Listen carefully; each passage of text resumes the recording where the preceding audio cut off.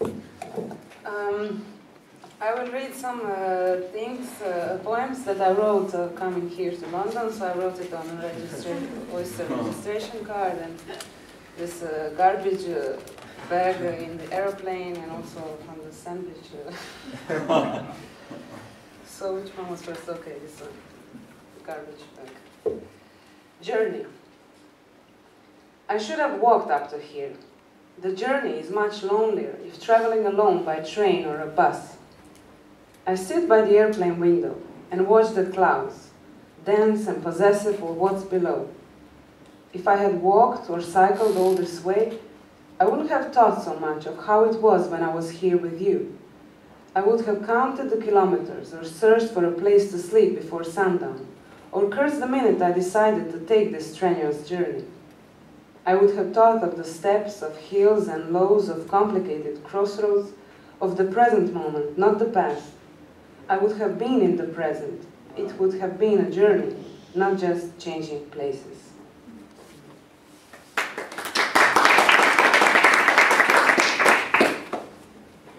I will also read a few sketches uh, um, for this event, especially for this event that was made uh, for, for our Croatia uh, uh, collaboration. I wrote it uh, today after an exposition that I saw in, in London. Modern Life. Watching the Bal Bullier painting by Sonia Delaunay today in Tate, I lose myself in colors brought to life, a multitude of faces, unknown faces, harmony of tango dancers from 100 years ago. A dissonance of Trans-Siberian wheels painted by young Sonia, herself an artist refugee from Odessa, Ukraine, bring to me yesterday news of Calais refugees, desperados of the La Manche Tunnel. The debate between geometric and lyric abstraction still lingers on as I watch uh, the paintings, art d'aujourd'hui, simultaneous composition, a composition for jazz, colored rhythms. My friend, composition number 127A, rhythm number 5, an aeroplane engine, a propeller, an instrument panel. There were flamenco singers, of course, not one by the name. Costumes for slaves in a ballet by Diaghilev, dancers on the rope of life in La Manche Tunnel, a composition number 1,200 souls. Modern life, on the wind, on the earth, remember the red and green silences. Remember Sonia Delaunay, wrote the French poet on her curtain. Bal Bullier, 1913, Starbucks, 2015.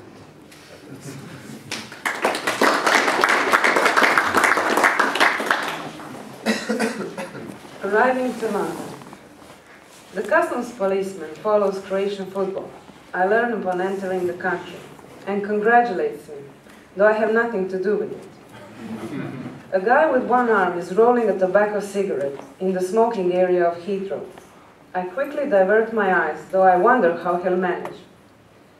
All around Earl's Court Road and Cromwell Road, joggers, joggers are running, obliged to stop at every traffic light.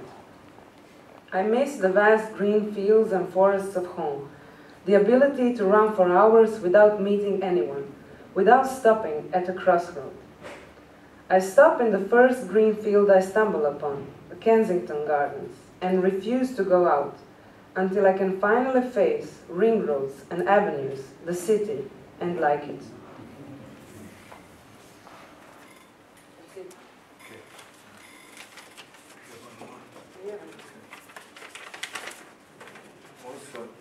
uh, there was uh,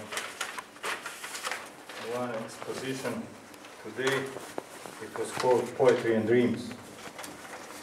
So I remembered something I wrote before, but I just uh, it, uh, sketched it in English. So you have to suffer my writing in English and my reading in English, but it's, it's better like this. We, we, we don't have time to read in Croatian and everything. So like it's uh, exposition, poetry and dreams in. Awakening of Spring. It is a World Poetry Day, a day when it is better not to meet the poets. I went to park with my Labrador Luna.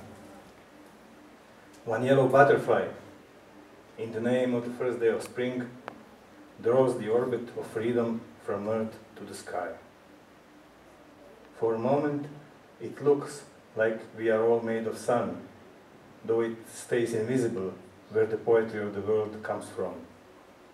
As that butterfly drawing in the air, whose contours you barely recognize, and it's already gone.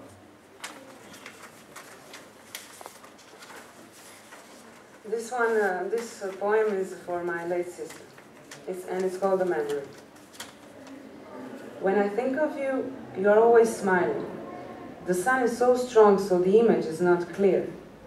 We are both blinded by light, but I recognize that you are in a field of wheat and spruce, and it's surely summer. I look at you and your smile fills me with such joy. This is the way I love you, standing in the field, in the sun, in a moment that happens over and over again, in a moment that hasn't yet happened. Thank you.